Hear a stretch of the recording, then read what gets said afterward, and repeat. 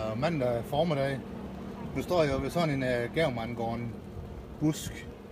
Eller skal vi kalde den... Ja, hvad skal vi kalde den? Det er jo nærmest et træ. Det ligner jo en kaktus. Og uh, det er jo ikke uh, granatæble, som jeg fik sagt på den første video. Det er jo, det er jo dragefrugt. Dragon fruit på engelsk. Og de ser sådan her ud, sådan lige i processen til at blive en frugt. Så, øh, så fik vi det rettet. Altså dragefrugt, gav.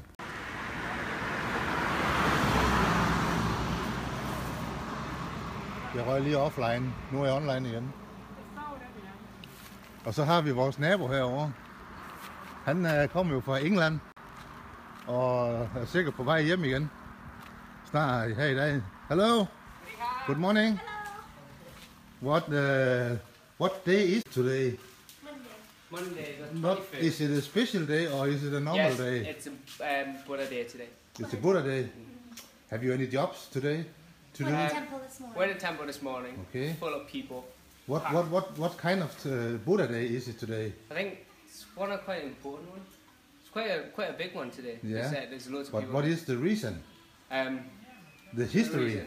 What is the history about the Buddha day? The day is the day for the dead people.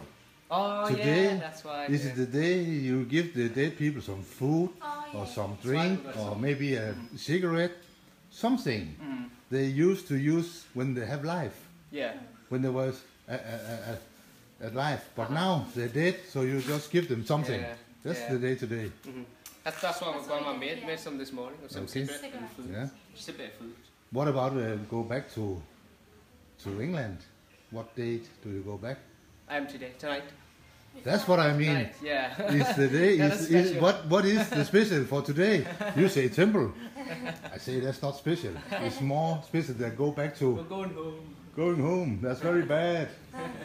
I know. Have You you didn't wanna go. have you had a good trip to Oh, Thailand? Amazing. Love Thailand. Okay, Definitely. that's good. Yeah. hmm Okay. Om jeg ser lige her med et par stykker fra England og Thailand, der har været på ferie her i en tre uger, three weeks. You have been traveling around Well, waiting five weeks. at all five weeks. Five weeks together. De har været i Thailand i fem uger her. De bor i England begge to.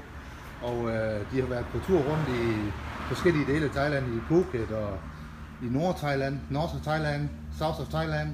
You are traveling around yeah, in south Thailand, yeah? and then around Singapore as well. Og det er det gode ved Thailand. That's the good about Thailand. You can travel around and see many different kind of things in Thailand. And uh, Getting. I said, thank you for visit, visit, visiting our home in Banongbur, Udon Thani, but actually, actually this guy is coming from here, so that's not special for him, but, but her, it's first time, but maybe not last time. No, definitely not last. Definitely not last, okay. Thank you. Thank Yes, you. I'm going back with my live video. No problem. Okay, see you. Bye bye. Så jeg smutter igen her fra Vandhungbur og får lige et par små øh, desinger fra og en lille hilsen fra mine naboer her, som har været på ferie i fem uger i Thailand.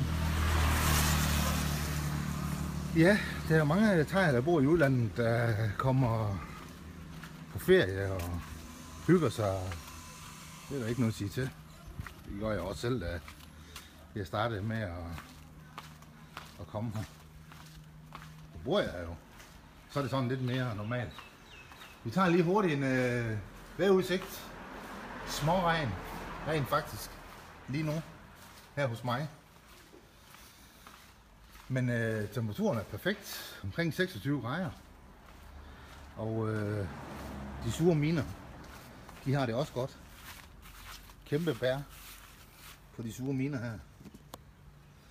Og øh, tulipanerne står simpelthen bare her. Helt vildt flotte. Rigtig lækkert. Nu fik jeg lige ordnet det med dragefrugten. Og det var jo lige planen med den lille kort version af videoen her. Ellers var det dynelærsen over hele, over hele planen deroppe.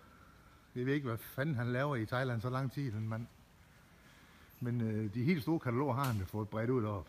Nå, det må vi tage, som det kommer.